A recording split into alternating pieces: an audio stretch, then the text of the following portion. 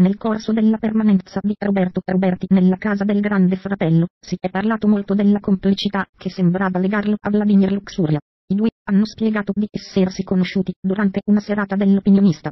Le frasi lasciate in sospeso e le frecciatine tra i due, però, ben presto hanno alimentato le voci di una presunta omosessualità del GFino.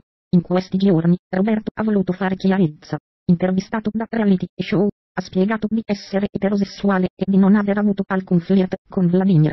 Di lei ha detto, io sono venuto a conoscenza dell'esistenza al mondo di Vladimir Luxuria nel 2000.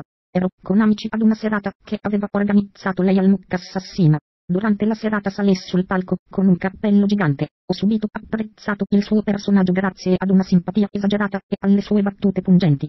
Mi è piaciuta la sua libertà e l'essere ironica, anche con se stessa. In queste ore, però, ha rilasciato una nuova intervista. Sta al programma di Giada Di Miceli, non succederà più, su Radio Manamana. Roberto è tornato a precisare le dinamiche del suo incontro con Luxuria, dicendo di non comprendere la motivazione alla base delle allusioni dell'opinionista. Queste allusioni sono mezze verità, anzi menzogne. Ho visto Vladimir tanti anni fa durante una manifestazione, ma non l'ho mai conosciuta. Perché lascia intendere qualcosa di diverso? Se non è vero, perché dirlo? Non so come funzionano le dinamiche della televisione, ma non capisco. Solo una volta uscito dalla casa, si è reso conto della risonanza mediatica che la cosa aveva avuto. Per forza nego, non è vero. Ho pensato che fosse uno scherzo, poi però, una volta uscito, ho visto notizie ovunque, la cosa si è gonfiata molto, ci hanno giocato molto. Non ci sono rimasto male per la presunta omosessualità, mi ha dato fastidio la mancanza di trasparenza, se le persone credono a Vladimir, io posso apparire poco trasparente. Ribadisco che se domani mattina mi alzassi e mi innamorassi di un uomo, non farei fatica ad esternarlo, perché sono libero.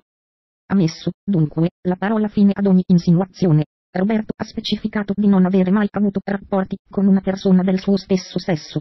Sono etero, non ho mai avuto esperienze con uomini.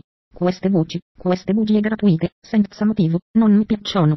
Farmi passare per uno che ha una doppia vita risulta una sorta di omofobia al contrario, come fosse una roba di cui vergognarsi. Se insinuano queste cose, sono loro gli omofobi.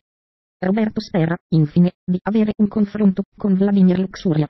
Ho paura del continuo gioco di Vladimir, se mi faranno fare un confronto con lei dirò queste cose, ma poi sarà la mia parola contro la sua un gioco meschino, che non mi piace, non capisco. Non voglio apparire come non trasparente, non mi piace apparire così. Chi se ne frega.